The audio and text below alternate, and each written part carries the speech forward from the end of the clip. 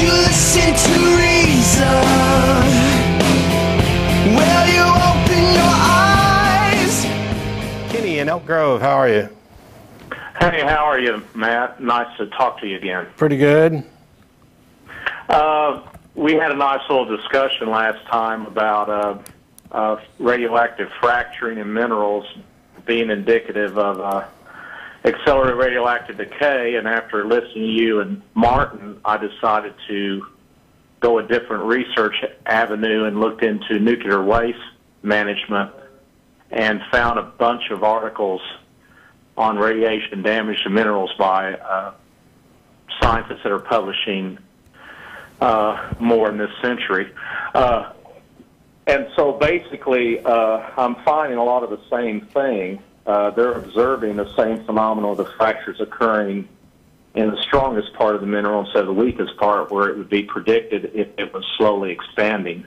Have an 87 article and then some other articles. The 87 article uh, is about a zircon. There's four or five scientists that contributed to that paper. And so what I'm in the process of doing is uh, following up on uh, finding a close agreement by a group of competent scientists that specialize in this area. Which Have, have you done that do. yet? Well, I'm doing that Okay, now, then I, I don't need to rehash the whole conversation here. When you actually get to that point, um, then maybe we can talk about it, except that I'm not a geologist, so maybe it would be better to not call into an atheist TV show, but instead actually go Sure, talk to sure. scientists. Sure, I agree with with you on that. Okay. Um, it might be actually helpful to your show too if your call screeners discourage scientific discussion. Well, it- that will help too. Yeah, um, e- except that we're not here to discourage uh, scientific discussion. There are certain th- elements of scientific discussion that we're okay with. Um, but if you, in the cases where, where calls like the one that we previously had, where you're going to call and offer, well, you know, I, I don't have um, resources here to have that sort of debate. Um, but at the end of the day, even if you, your position was right, it doesn't do anything to tell us about or, or or to, to disprove uh, the bulk of, of science and demonstrate that a God exists. But what, what did you have for us today? Well, I wanted to ask you some questions. I figured uh, you haven't had a discussion in detail about the uh, uh, the what happened to the Canaanites and uh, foreign national slavery in uh, Leviticus, and uh, I was wondering, have you by any chance uh, read the twelfth chapter of the Wisdom of Solomon, apocryphal book in the Septuagint? Uh, I don't recall. Well, what it basically. Oh, are you still talking? Nope. okay, I'm, I'm watching your mouth, and I'm, the words are coming over later. Yeah, there, there's a delay. I'll try not to watch you. That's a good Uh, idea. Yeah. I recommend that for everybody. Stop watching. Oh, no, no, no, no, wait. So anyway, Yeah. we got like Well, 12 minutes left in the show, and you want to talk about the Canaanites and slavery, so let's get to it. Well, we'll get to the Canaanites. We probably don't have time for the slavery, but the Canaanites are addressed in uh, Wisdom of Solomon as being basically individuals that sacrificed children, grilled them, and ate them. You're, you're talking about a non-canonical book. Well, sure, but it's it's not canonical to Protestants. I'm not a Protestant. I'm Eastern Orthodox. Okay, but uh, okay, sure. So, and, and, I, and I don't really care. I mean, you can pull from canonical box, uh, uh, the, the text in Deuteronomy, or you can pull from external. What, what difference does it make? What, what is the case that you're making? Well, the case I'm making is is that uh, what is going on in the book itself. It, it's discussing how God was patient for years and years with the Canaanite. That He showed them the example of what happened to Egypt, which you probably don't believe happened, but uh, Correct. anyway, still in there. And uh, all this went on, and then he stated uh, that because of what you're doing to children, and these were not their own children, they were kidnapping Israeli children, they were kidnapping of other tribes and killing their children. And since they weren't changing their ways, God decided to wipe them out. Yeah, and and uh, what's your point? Because My point we- is we- he was justified in doing it. so, including killing their kids? Yes, their kids were killed. Yeah, you're a moral They would come thug. In the city and, and crushing their skulls Okay, open. wait, Kenny. wait, wait, wait. I, Kenny, Grow Kenny. Kenny. And do the same thing. I have a question. Oh no! So your your your reasoning is that it's okay to kill the Canaanites' kids because they're going to grow up to do the same thing. Well, they would have. You're a moral thug. You, you've lost Do your you moral understand compass I- entirely. I actually have, like, a and the different question. children Were doing this when the Israelites were coming to the city. They were. Kenny, you're an idiot. A two-year-old is not doing anything. You're saying two-year-olds were, were killing two-year-olds? no, I'm not saying that. So I'm when they came in and wiped out their two-year-olds, the innocent kids, your claim is that that was justified. two-year-olds can't throw a rock. Yes. So why would you kill them? About them. So why would you kill them? What? Why would God have them killed? Who says that God had all them killed? I just asked you if it was justified to wipe them all out, including their children, and you said yes. Yeah. I, you said children. I didn't interpret that as infants. Okay. Um, Just like, for example, what, what does wipe them out mean? What does wipe them out mean and not leave any of them alive? Well, actually, they didn't completely do a genocide. A lot of these people were incorporated into Israel itself. They were proselytized and, and changed. Some of the people repented. well, they did kill all the Amalekites, though. He had the children killed there. Was that justified? Well, let me ask you a question. If someone's in Vietnam and a young child walks up with a bomb in a box to hand it to him, is a soldier, another soldier, justified in shooting that child to keep another soldier? So you're asserting that all the Amalekite children were carrying bombs that day? No, of course. Okay, I'm well then why would it be? Why I would that even that? be relevant? Because you're you're What does that have to do with what I'm saying? because the Amalekites were wiped out by the Hebrews under God's command, who told them to wipe out the infants, the children and the infants. He even goes to a special little little category there and tells them the children and the infants. So they went and they wiped out the Amalekites, including their children and their infants. And the question is, Was that the uh, was that the one blessed is the man who bashes the little No. head? No. That's no. A different one. this is this is. that's, that's yet another place where the Bible really enjoys But the I, I slaughter of guess my children. big question, So why we're Well, my question, because you're talking talking about Canaanites. Okay. Right, but I'm saying that it's if he's going to command people to go, he's going to command the Hebrews to go and kill another group. And the Amalekites is an example I'm familiar with where he kills the children and the infants specifically. He even tells them to wipe out even the animals. So my question is, do you think that's justified?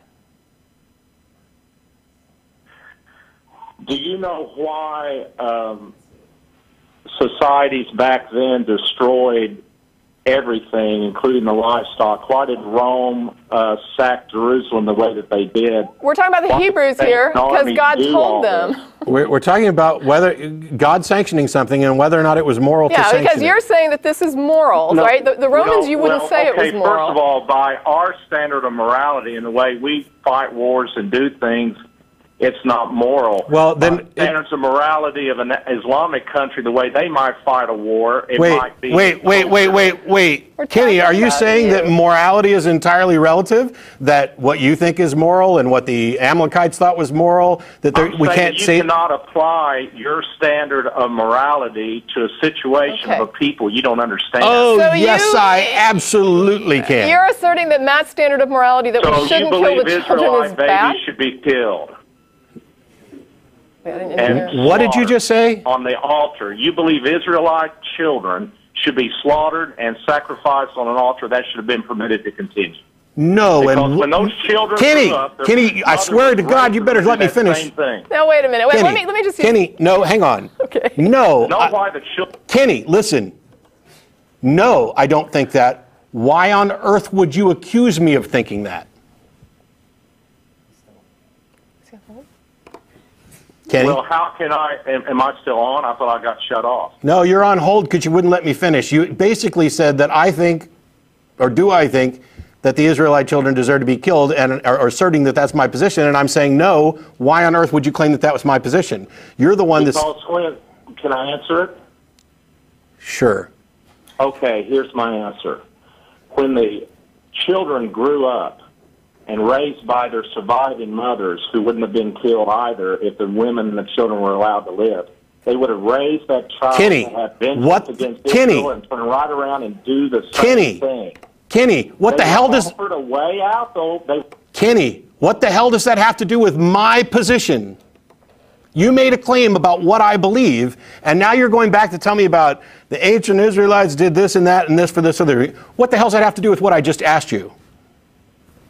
Hello? Well, it has a lot to do because if you allow these people to live, they would kill Israel. Kenny, you are entirely too stupid to talk to.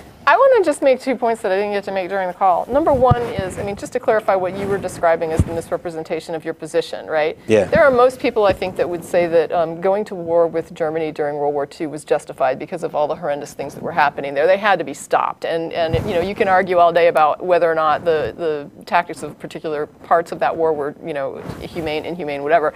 But it was. I don't think there was any doubt that you weren't going to sort of reason with Hitler. And so you have sometimes something horrible going on, and you say, We're going to use force, we're going to go in there and stop this from happening.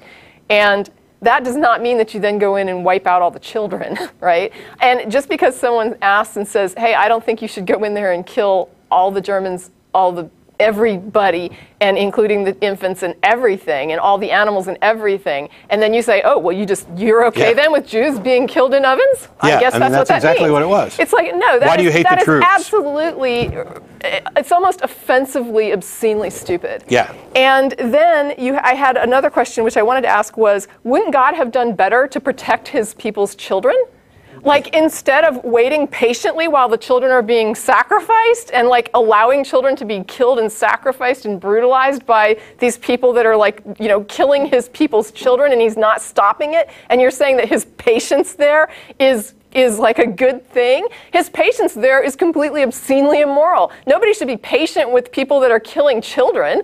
What the hell is that? I mean how can you be how can you even say like well god was just trying to be patient with it? They're killing the children you don't be patient. You protect those children. What the hell kind of god wouldn't protect children from somebody that's killing them on altars? I'll tell you, Wahoo. And then- the exact same kind of God that would say, "Screw it, I don't care who did it, wipe them all out." even their children. Yeah. what is this? So you let them kill What's a bunch of children and then you go and kill their children as a result. And it's just like this is it's just an obscenity. Yeah, your your religion has completely poisoned your ability to think reasonably, especially on matters of morality. And it's because you are put in the position where you have to come up with some kind of defense for something that you, under any other circumstances, would look at as a moral atrocity. If the United States, when we went into Germany or any other place, if, if our mission statement was wipe them all out, we would be the same sort of a moral thug